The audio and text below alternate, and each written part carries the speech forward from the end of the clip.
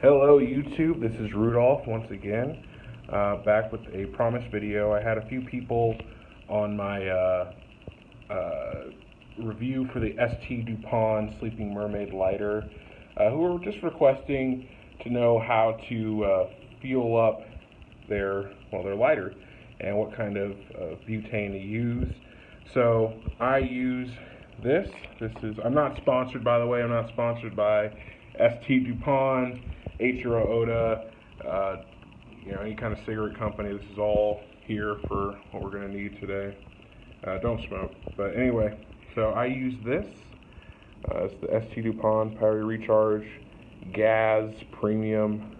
I'm not going to butcher that, but you see it here. I'll also have uh, a link for this in the description. I think it's also in the description of the other video.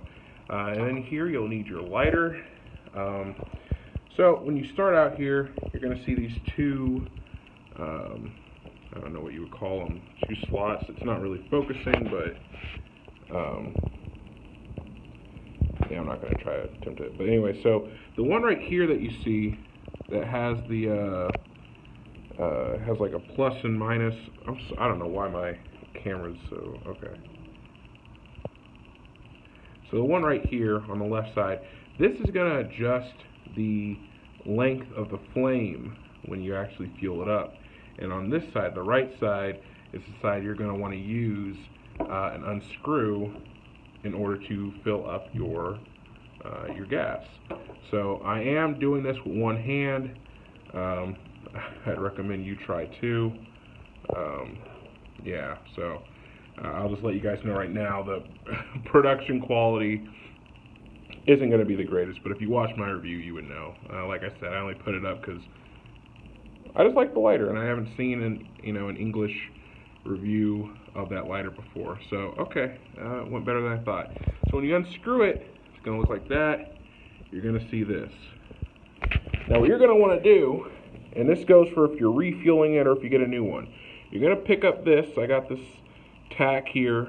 Um, and you're going to want to release any gas that's currently in it. Now mine's empty.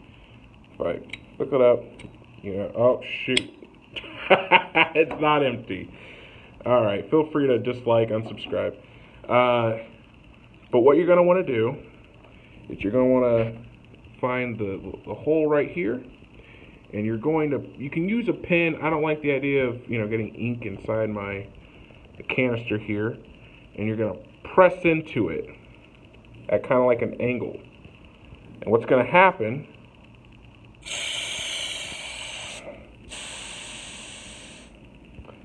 like a soda can. Well, not really, but I mean, I hope you get the imagery I'm trying to instill. Uh, you're going to smell a lot of gas. I would recommend doing this in an open area. Try not to get this on your clothes. Don't do it with one hand, and you know, preferably probably wear gloves if you're working with butane. But anyway, so after you've made sure that your your gas is unleashed, I'm gonna point this over here so I don't. Okay, so we made sure it's empty. I didn't blow ourselves up. So now you're gonna get your gas. So it's when you order the lighter itself, it's gonna come with this. This is it looks like almost like a shell casing um, this is the adapter that you're going to need. So what I made the mistake of and wasted money on the first time was just going to a local 7-Eleven and getting a standard universal butane canister. Uh, they're going to have like the silver metal tip and generally be a little bit skinnier than this one. Uh, the, the problem is it's not like you know this can't take that fuel. It's just that you know for one this is made for it. Two, uh, the universal one, it, it it's too it won't fit in the hole. I guess I'll just demonstrate. So if you don't use the adapter, what's going to happen is you're just going to waste a lot of fuel. You're going to make the place smell like it's about to explode. And it's going to, whoops. Oh, man. Stage fright. Sorry, guys. But uh, if you do it,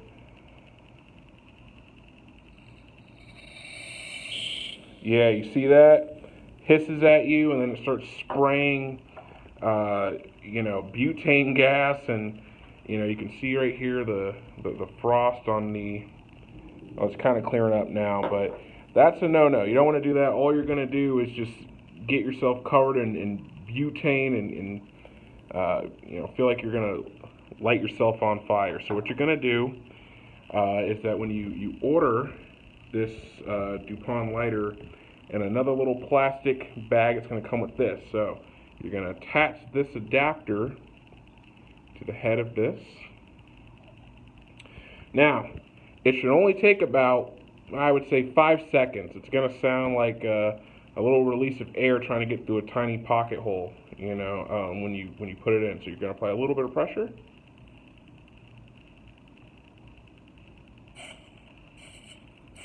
There we go. Perfect. And so now, when you light it up, and it's it's gas, so it's not going to leak out the bottom here or anything like that. It's it's, it's gas.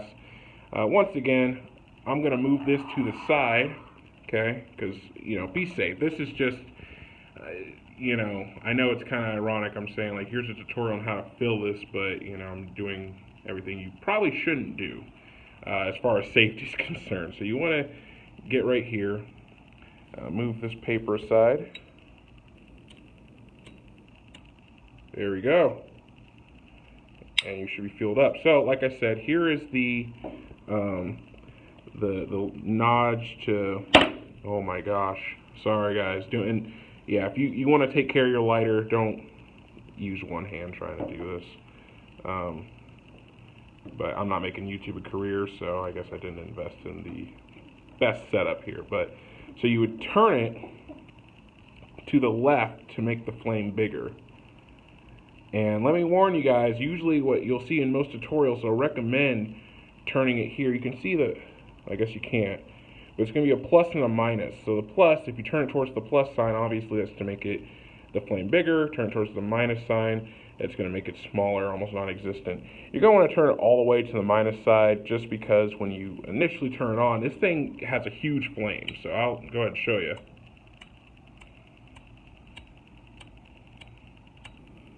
Or maybe I won't because oh man. Okay, so that didn't go according to plan. I'm gonna try filling this up again. And we're gonna not embarrass myself. Okay.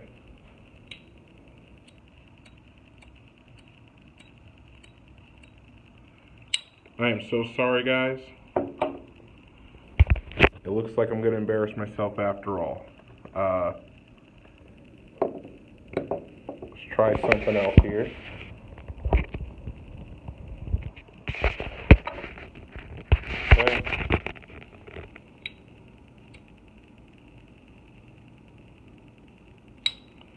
I get the little flame, but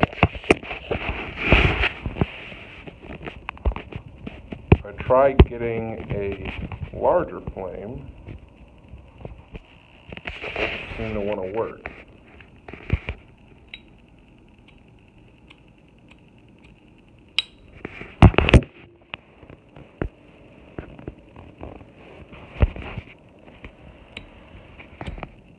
There we go. So as you can see, it gets bigger than this, but I'm not trying to, you know, burn my hair off. Uh, and that's it. I mean, this. I, I don't. I don't mean to make this video like 10 minutes. This honestly should have been like five, but like I said, I didn't have any kind of setup, and um, you saw me fumbling around just trying to feel the thing up. So that's that's basically it, man. Uh, I'm about to go out for a smoke break, so I guess that's why I have those there. But uh, anyway, yeah, that's how you fill up your ST DuPont uh, lighter. Once again, this is the the fuel.